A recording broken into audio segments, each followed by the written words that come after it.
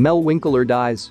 Doc Hollywood, Oswald actor was 78 Mel Winkler, a character actor with numerous TV, film and stage credits, as well as being a recognizable voice behind characters on the animated series The New Batman Adventures and Oswald, died in his sleep of unknown causes Thursday at his home in Hollywood.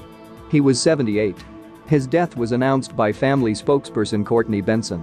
Winkler made his Broadway stage debut in 1968's The Great White Hope, appearing in several productions thereafter, before taking the role of Seth Holly in 1988's Joe Turner's Come and Gone by August Wilson. His final Broadway role was in 1997's Proposals, written by Neil Simon and directed by Joe Mantello.